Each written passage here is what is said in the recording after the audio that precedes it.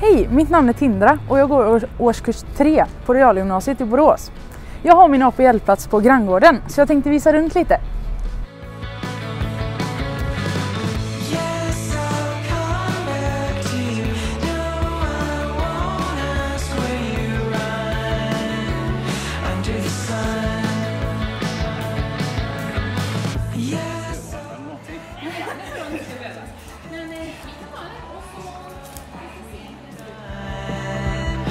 under the sun.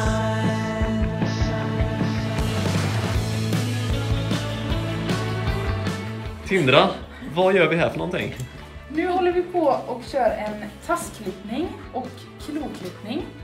Eh, det finns även tandborstning och eh, bad och fön för stor och liten trimning.